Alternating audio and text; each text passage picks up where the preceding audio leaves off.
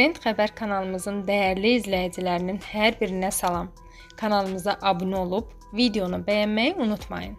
Ermənistan və İran Araz çayının sərhəd zolağının mühafizəsi üzrə işlərin həyata keçirilməsi üçün yol xəritəsini müzakirə edərək təqdim edib. Turkistan az məlumat verir ki, bu haqda Ermənistan Ekologiya Nazirliyi xəbər yayıb.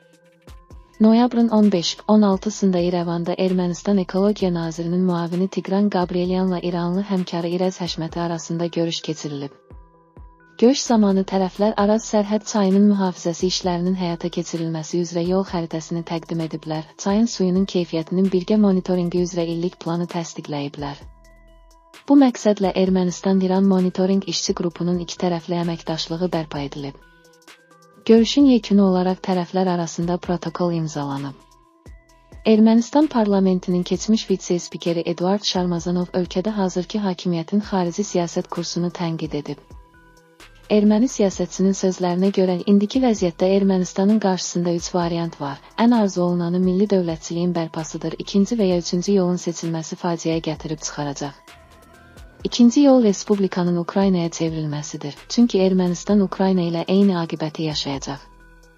Üçüncü yol isə ölkənin vilayətləşdirilməsidir, deyə Şarmazanov bildirib. Sabiq deputat İrəvanın qərbə doğru yönəlmiş xarici siyasətini tənqid edib. Onun fikrincə Ermənistan qərbin planını qəbul edib açıq şəkildə Rusiyaya qarşı çıxsa, bu respublika üçün ağır nəticələrə səbəb olacaq. Qərbə bir şey lazımdır. Bir əsrdir ki, o Rusiyanı bu regiondan sıxışdırıb çıxarmağa çalışır. Bu gün Ermənistanın baş naziri Nikol Paşinyan bütün ruslara qarşı mübarizədə Qərbin küt alətinə çevrilib, deyə siyasətçi qeyd edib.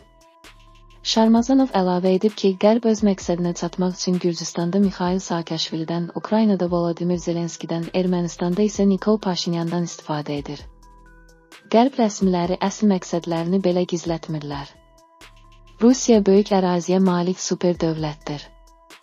Rusiyaya tərəf daş atırsan, daha böyük daşla cavab verməyə hazır olmalısan.